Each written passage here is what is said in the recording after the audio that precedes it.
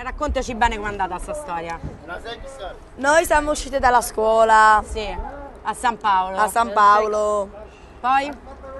Poi ci ha visto la giornalista, ci ha dato 20 euro per dire queste cose, che noi rubiamo al giorno 1000 euro, che deve morire la vecchietta, queste cose. Io ho detto, E tu l'hai detto? sì, ah. Perché l'hai detto? perché io ero fumata, lei mi ha dato 20 euro, lei mi ha detto che devo dire così, ho detto così.